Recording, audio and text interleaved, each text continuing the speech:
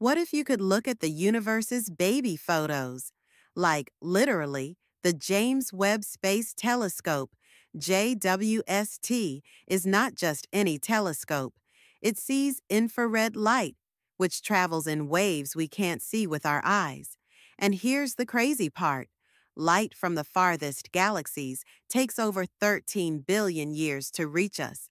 So when JWST looks deep into space, it's also looking back in time, capturing light from the very first stars and galaxies that ever existed.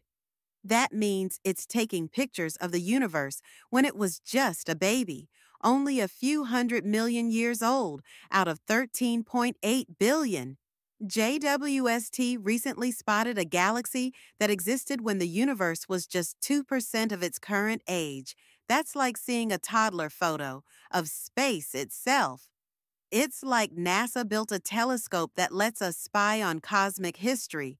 So, yeah, space has a photo album, and James Webb is flipping through the pages. Like and follow for more wild space facts. And maybe time travel isn't just science fiction after all.